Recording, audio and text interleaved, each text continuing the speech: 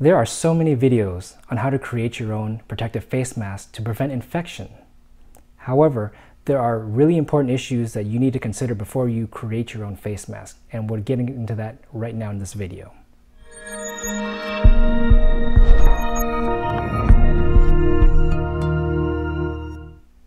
Hi, and welcome to Problem Solver. Today, we're going to talk about not only how to create an effective face mask at home, but also some important considerations you might want to think about before you create that mask. But before we begin, I do want to talk about a myth where some people think that having some protection on your face is better than no protection at all. But that's not necessarily true. Consider the fact that if you wear a mask or some kind of protection that's not properly fitted or is made of ineffective material, it might create a false sense of security or false sense of confidence uh, that will lead you to become lax in your sanitary behavior. Well, in this video, we're also going to talk about a few things. First, we're going to talk about the benefits and the dangers of wearing face masks. We're going to talk about the most effective material to use when you're creating that mask. A third, we're going to talk about the proper fitment of that mask. And then next, we're going to talk about good mask wearing techniques, behaviors, and habits. But stay to the end of the video where I'm going to talk to you about how to create a very simple and effective face mask at home. So, what are the benefits of wearing a face mask?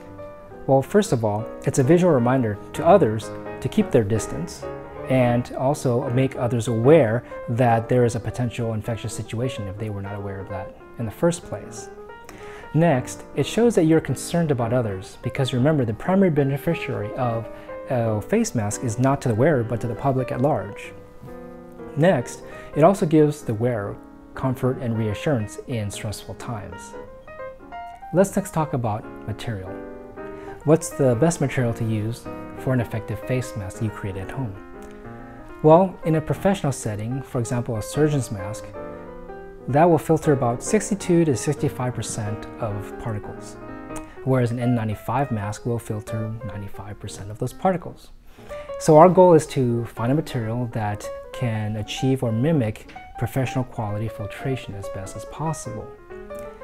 By coincidence, there have been recent and numerous studies that have asked that very question. Research has gone into what are the best materials to use for inclusion in a homemade mask for proper filtration. And I will include links below for those studies so you can see for yourself. But to sum up, pretty much researchers have determined overall that woven fabrics were more effective than knitted ones. Um, the reason being is that knitted fabrics seem to have more spacing between each knit and therefore provided less efficient filtration. Out of the woven fabrics, the best woven fabric that was most effective at filtration was quilter's cotton, as long as it was 180 thread count or higher.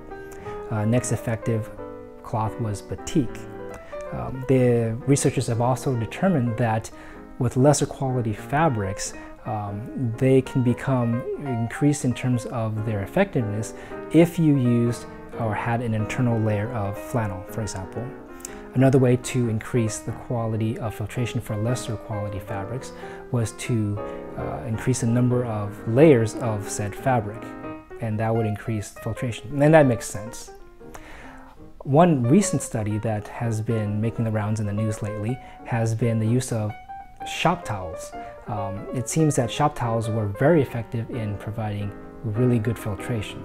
Um, the study that they've that I'm going to cite that you can see below has determined that out of all the shop towels, it seems that Scott shop towels were the best. I'm not endorsing them in any way, but that's what the study found. Um, luckily, you can find shop towels such as Scott at your local auto parts store, since that's where those things are used. One quick and easy way to determine whether one fabric is more effective at filtration than another fabric is to hold the fabric up to a light source. And the fabric that where you can more easily see the light is going to be the fabric that is less effective at filtration. So, are there any materials or fabrics that you might want to either avoid or use as a last resort? Well, according to studies, pathogens seem to last the longest on synthetic and polyester fibers, um, as well as spandex being the one that's the worst offender. So I suggest not using those fabrics if you can avoid them. What about other items such as t-shirts, bandanas, and scarves? Uh, you've seen that used a lot, I'm sure. And the CDC actually came out with an advisal saying that bandanas can be used for facial covering for face masks as a last resort.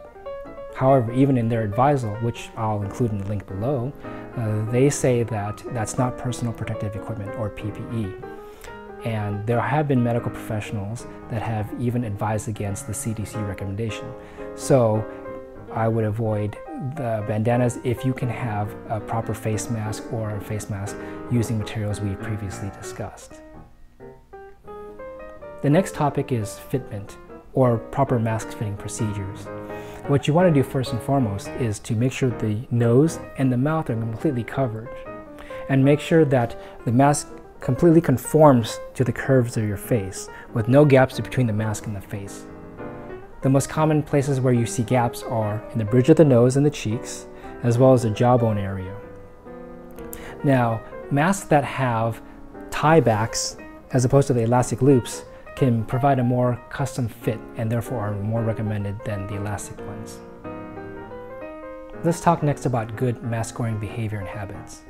Now the first best advice in terms of behavior is to stay at home during an epidemic or highly infectious season.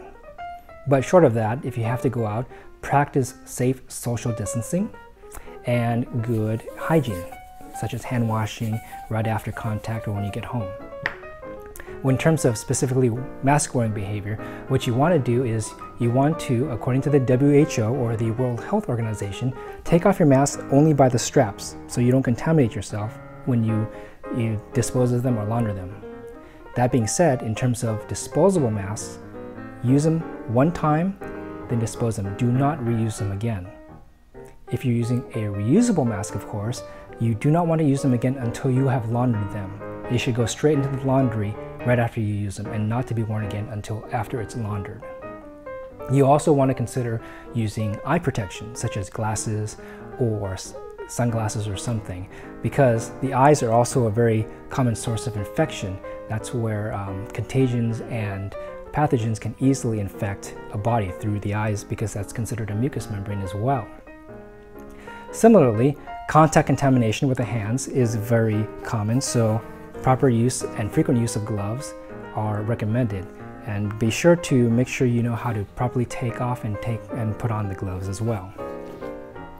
The last thing you should do in terms of masks is to make sure you keep them dry because any kind of moisture will promote contamination or infection. Here are some things you should not do when wearing a mask. First of all, don't touch the front of your mask. Uh, that increases the contamination of the mask if your hands are already contaminated. Second, you should uh, not constantly readjust or touch or move around your mask. This also increases chances of contamination. You also don't want to keep any part of your nose or mouth out.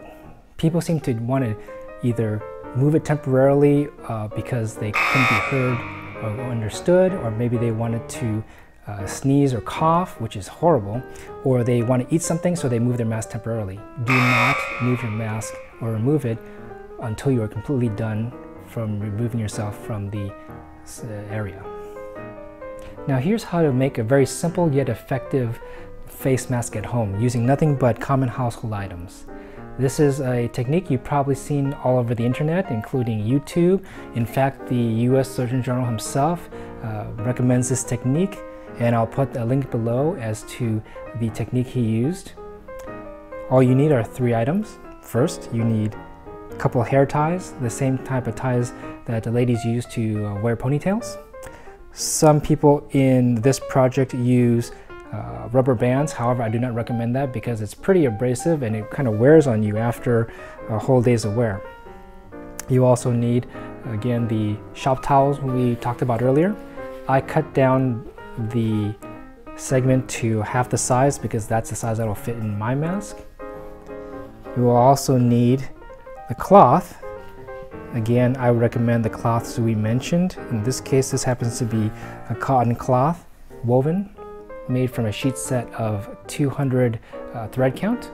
Now the size also is dependent on you, but typically what fits most people is a handkerchief size or about the pillowcase, a standard pillowcase size. What you want to do is fold the sheet into thirds. So the first third you fold up, you put the shop towel there, you fold over, then you take your hair ties, you put one on the end, go all the way up until you reach where the shop towel is. Same thing with the other side.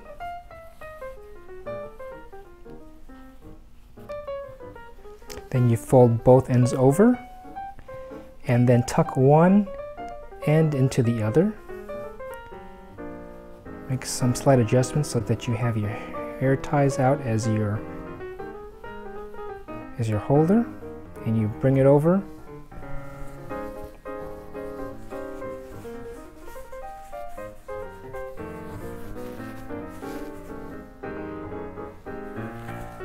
To ensure proper fitment, of course, you want to do this in front of a mirror and you might need to adjust depending on your sizing, the folding or the size of the cloth. The other, there are many other ways to actually create masks. I'm going to link down below in the description one that's recommended by Kaiser Permanente. It's a very good mask. It's a little bit more involved, uh, but you can do YouTube or Google search and you'll find tons of techniques. Again, recommend that you take into consideration the material as well as how you wear it. Now, if you have any other type of techniques to make a homemade mask that you would suggest or recommend, or some type of material that you prefer, or stories you have, I would love to hear them in the comment section below. And if this helped you out and was very informative, please give this video a thumbs up and even subscribe to our channel. Thanks so much for watching and be safe out there.